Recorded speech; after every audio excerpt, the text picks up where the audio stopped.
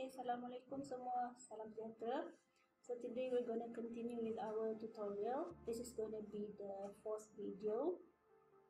Then the duration of this video will be around, I don't know, 15 to 20 minutes. Okay, most probably. Uh, because uh, saya rasa it's better for me to do short videos daripada yang panjang videos because it, take, it takes too long to render sebenarnya. Okay, so maybe this is uh, going to be like 20 minutes then another video another 20 minutes okay? So hari ni uh, kita akan buat uh, floors okay? Kita akan buat lantai pada projek kita. So i hope everybody has this view with mine okay? Semua orang uh, saya harap dah buat sehingga ke bumbung ni lah. Okay kemungkinan besar next week uh, mohon siapkan yang kita belajar sampai hari ni. Dan saya akan minta awak submit pada saya sebab saya nak bagi markah Alright. Maka the full mark is uh, 100, so I'm going to give around 25% for this uh, particular portion until we learn today lah. Okay, so let's continue our tutorial. Okay, if you want to add a floor, first of all, we have to go to the floor plans. Okay, so now we're going to go to lower level floor plan. So lower level here, so this is going to be your view okay so you can zoom in in and zoom it out using your wheel dekat your uh, mouse. Okay?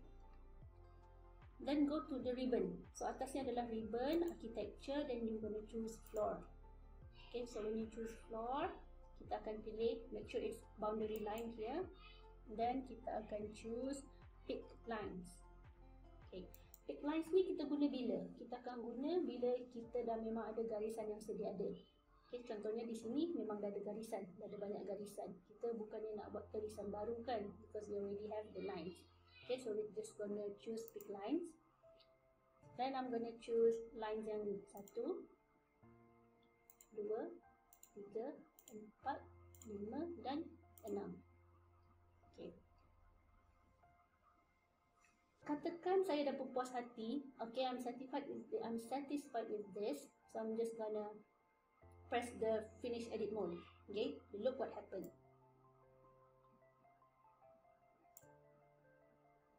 So pop-up box ni cakap, lines cannot intersect each other. The highlighted lines currently intersect.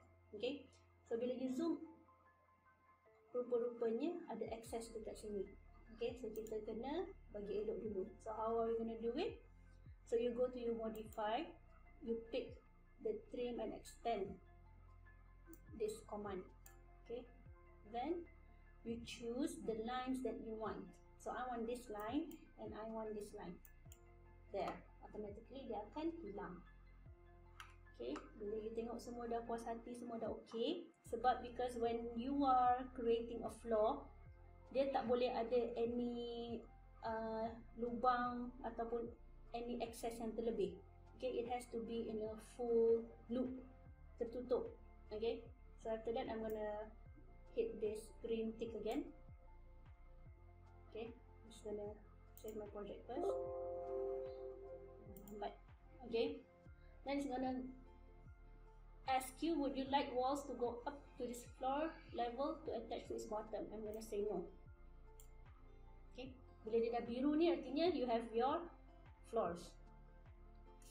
Okay sekarang ni kita nak buat our second floor pula. Okay ni dah So the second floor ni dekat entry level. So you go to your entry level. Then the same architecture floor. Okay. Just now we use pick lines. Kan? So now I just want to use lines. Okay. Saya akan ambil line. So I'm gonna put it here. Okay. Tapi saya tak klik eh. Dan saya akan gerakkan saja cursor saya. Okay. If you follow the manual, it says masukkan 11,000 baru you klik enter. Automatically dia akan dapatkan jarak 11,000 tu dekat sini. Okay? So bila dah dekat sini so I'm gonna go here. I'm gonna go to my inner walls. Okay? Here. Here. Akan jarakkan sikit. Okay. I'm gonna go here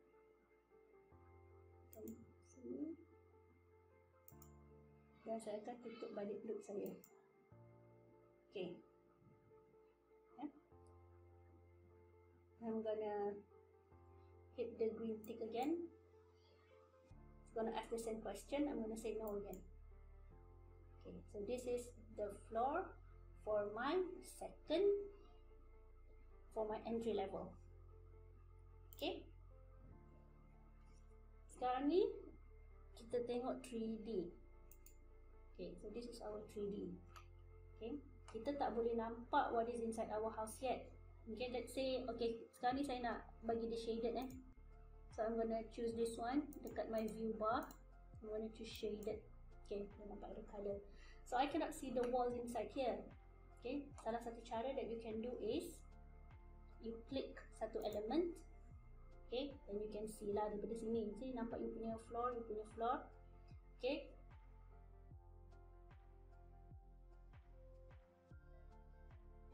you go sini.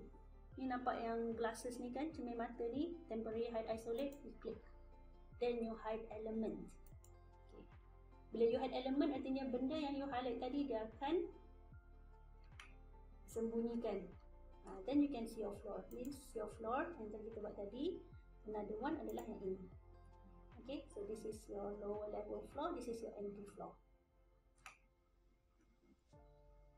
Okay, done. Lepas tu, how are we going to get our uh, walls back? Okay, just go back to your glasses tadi, click, and then reset. Okay, let's gonna close again. Right, so that is for floors. Okay, sekarang ni kita nak add dinding pula. Okay, we're adding the interior walls. Okay, for this interior walls, so we're gonna go to floor plans lower level. Okay, so this is our lower level. In the ribbon, we're to choose architecture and we're to choose wall. Okay, so I'm to use, uh, ni memang dah ada. If yours is not uh, 200mm basic wall generic, then you can choose it from here. Ada drop down ni, so you choose lah macam mana, nak pilih yang mana. So I'm just to use yang dicadangkan. I'm to use 200mm, this one. Lepas tu I'm gonna click lines. Okay, this is our draw tool. Nak start lukis dah ni our walls. Draw tools. Then our option bar kat sini. Make sure their height. Then here we're gonna set it until entry level. Okay, apa maksud semua-semua benda ni? Okay, before that, for location line ni, kita set dia dekat wall center line. Kita nak dia berada di tengah-tengah wall center line kita. Okay, meaning if you look at the properties, sekarang ni wall yang kita nak bina, base dia adalah dekat lower level here dan top constraint dia adalah until entry level. Okay, to understand better, kita pergi one of our elevations that you can see. Okay, so this is our lower level and entry level. Untuk wall yang saya nak bina tadi, kan, the wall tadi tu, saya set base dia dekat sini wall mula daripada lower level dan akan naik sehingga entry level. Kalau saya nak lagi tinggi saya set lah dia sampai ke roof. Dia akan naik sampai ke roof. Katakanlah awak tak set awak letak none. Ok contohnya lah awak letak none. Kan? Ok saya akan ambil wall balik tadi architecture. Kalau awak tak set awak letak unconnected automatically dia bukan akan berada dekat tempat yang awak nak. Okay? So, I'm going to choose my entry level. Okay? Artinya dinding saya ketinggian dia daripada lower level pergi ke entry level. Okay, so sekarang I'm going to start to draw. So, mine is going to be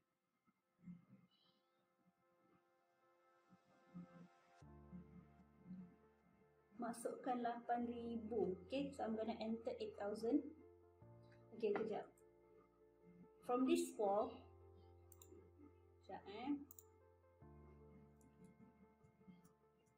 Mana modify lo nanti confuse okay semua dah. Entry level pun dah. Okay height pun dah. Wall center line pun dah. Everything pun dah.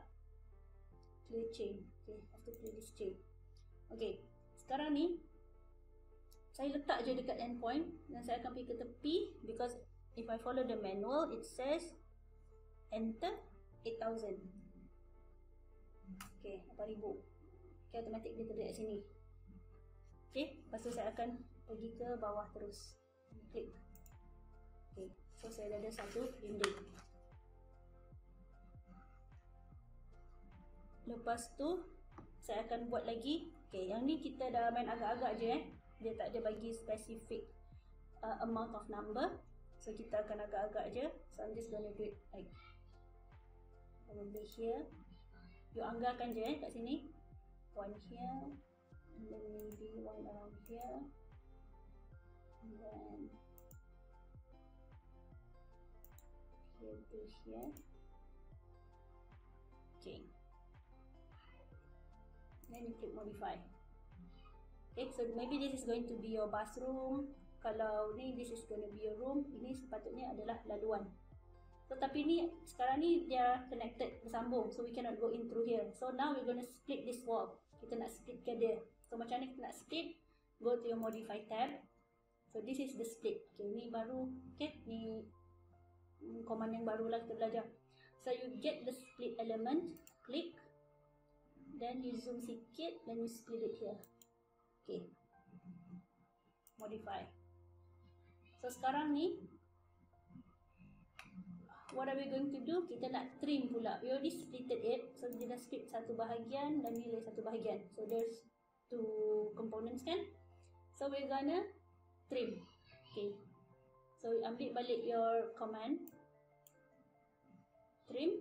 Then kita akan ambil dinding yang kita nak. One two, one and two. Okay, so now daripada lower level dia akan masuk sini then dia akan ada ruang dia untuk lalu pergi toilet, pergi ke bedroom probably. Ha, yang ni adalah storage sebenarnya. Okay, so I forgot to letak lagi satu dinding kat sini. So I'm gonna modify. Okay, sepatutnya kita guna architecture walls macam biasa or you can do like this. You click satu dinding, then you create similar. Okay, you nak dinding yang sama. Meaning you nak dinding yang sama. So, I'm to click this. Automatically, dia akan bagi saya dinding yang sama. Choose there. Okay, then escape dua kali. So, kita dah ada dinding kita. Internal dinding. Okay, so now we're gonna go to entry level floor plan pula. Okay, artinya kita dah settle dah our dinding kat sini. We're gonna go to entry level. Okay, bahagian entry level, Okay. So, I'm gonna ambil lagi ini tadi. Okay, architecture. I'm gonna get walls. I'm gonna hit. Okay. So generic, same, and I'm gonna pick lines juga. Dan yang ni dia suruh kita lukis ikut gambar dia. So kita akan agak-agak jugalah kat sini. Okay, maybe I'm just gonna draw like this.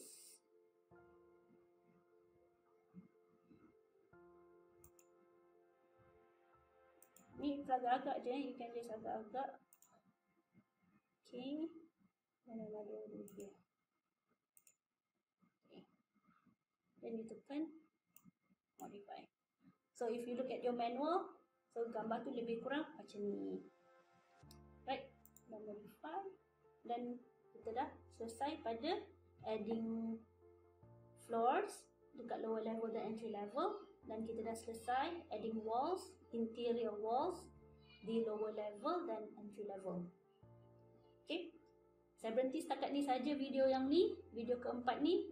Okay, kejap lagi saya sambung ke video yang kelima. Thank you.